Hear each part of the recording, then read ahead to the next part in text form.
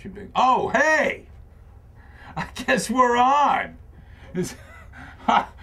Oh, that Joe, he's a crafty guy. He puts that on. Anyway, I'm C.D. Kaplan.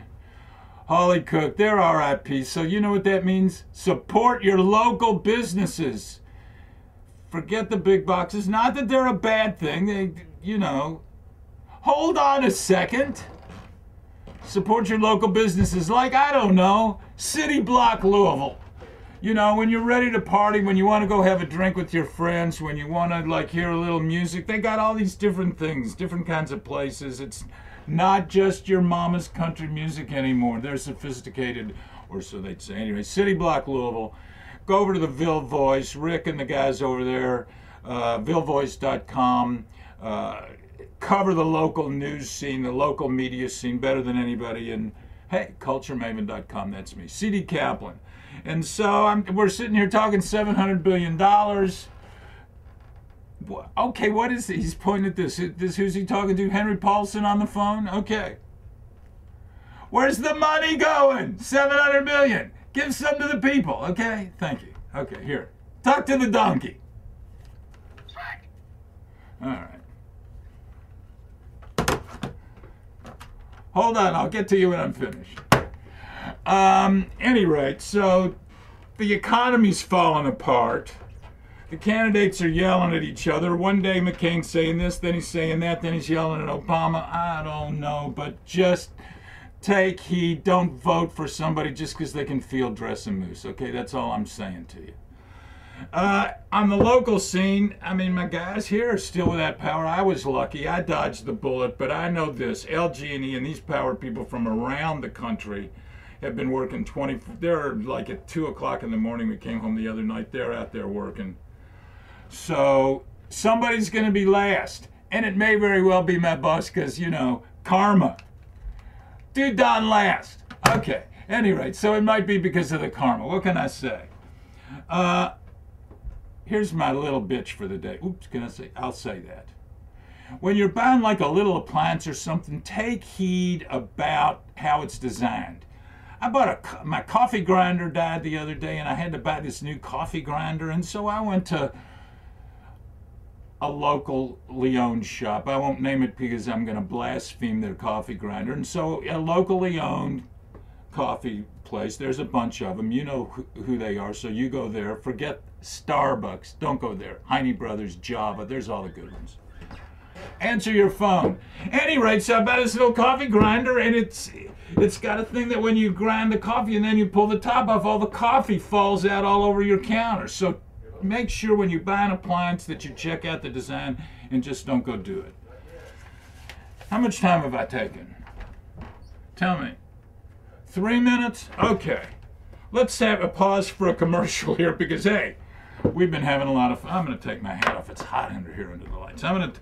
Here's the commercial for CityBlockLouisville.com. This Thursday, which would be September 25th, the Alley Theater Improv Challenge live taping show will air on the CW. Ooh. So that's going to be big time. So if you want to be in the audience or hang out with real live TV stars, the Alley Theater Improv, September 25th. This coming Saturday, the Avett Brothers. I know we've been hip and Hanson, they're coming soon, but the Avett Brothers are like the hot Southern band. So there's going to be lots of hot young ladies for you guys and, and studly young fellows for you gals. So come on down. You can get tickets here at, uh, uh, at I guess you can get them here. You got a ticket office out there down on Jefferson Street, so they'll have tickets. Ticketmaster outlets, Coyote box office, charged by phone 502 589 502 589 3866. You can call for tickets. October 2nd, Eric Church is live at Coyotes. I guess he's a country guy. He's a country guy. You can see I'm locked into the Nashville scene. So there's your commercial. City Block Louisville. All right. Shout out to the LG&E people. They've been working. Shout out to the American and the Ryder Cup. Did we like those Kentucky boys? Kenny Perry, J.B. Holmes. What more can you want? The crowd seemed good. My man Joe saved everybody's neck, all the big national networks in his Hummer. He got him across some creek. Apparently it rained out there Saturday morning. Who knew it was plenty dry and no power in my neighborhood? So there you go. A sayonara, Yankee Stadium. Good riddance. Goodbye. I've been there. It's a pretty neat place. Hold on. Don't go away. I'll be right back. Okay. My boss keeps paying. I don't know. He's, he's got something about the mayor. So Chris Anger, he's a friend of ours. A funny guy. He's in the Louisville Improvisers. Is that the name of the group? There's no mayor election, but hey, we're wearing the t-shirts anyway. Vote with anger. Are you blue? Okay. I don't know why I did this, but when the big boss points his finger and says, do something, I do it whether I understand it or not. He's wearing one today, so I got me a new t shirt. Hey, life's good. All right. A couple of like little funny notes. Vanderbilt's in the top 25 in college football. Who'd have figured that?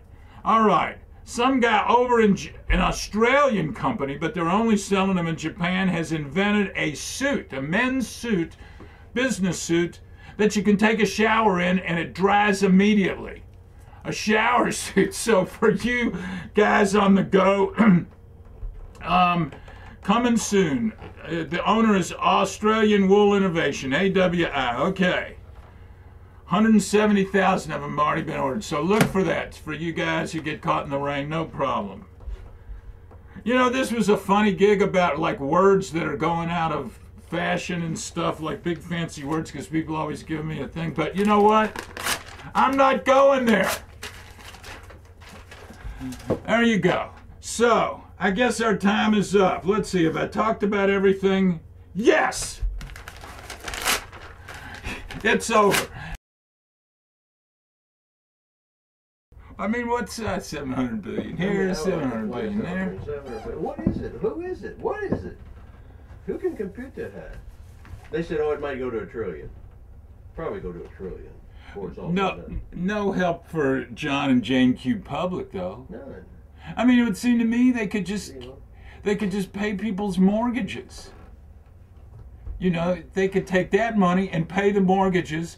The companies would be solvent and the people would be, you know, instead they're giving it to them, and the, the, the, it's going to be the shareholders. You probably own a bunch of stock there in like uh, those companies, don't?